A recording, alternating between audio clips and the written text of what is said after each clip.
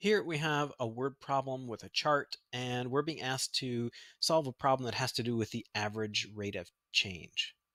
So uh, just let's look at the chart to start with. Uh, we've got times here in this column, so 0 seconds up to 10 seconds, and the distance traveled.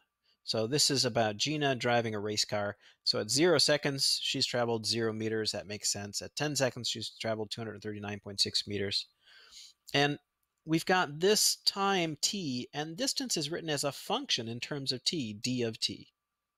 And that, that makes sense because the uh, amount of distance she's gone depends on the amount of time um, she's taken to go that distance.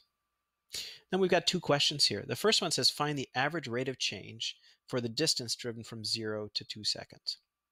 So the average rate of change is going to be the difference between the function values, so d of t2 minus d of t1 over t2 minus t1. So we take two t values. In this case, it's 2 and 0. So on the bottom, we're going to have 2 minus 0. And on the top, we take the, the function values at, at those places. So d of t2 is 71.2, and d of t1 is 0. So this is really 71.2 minus 0. So it's 71.2 divided by 2. And that is 35.6.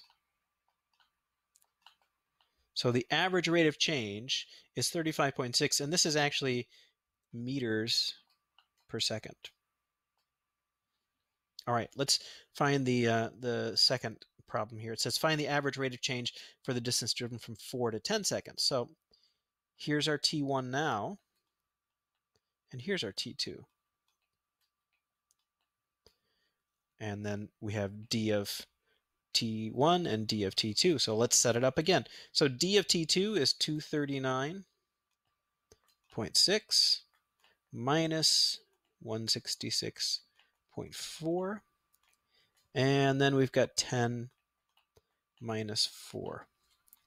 So on the bottom, this is 6, and I'm just going to grab my calculator. 239.6 minus 166.4. That gives us 73.2. Divide that by 6, and we get 12.2 meters per second. So one of the things you can see from the data that came up here is that um, the acceleration between zero and two seconds is really fast. So the rate of change is 35.6 meters per second. But uh, I guess once um, once uh, she's driven for a while, that rate of change starts to slow down. So if you're going to graph it, it would look like this at the beginning and then more like that.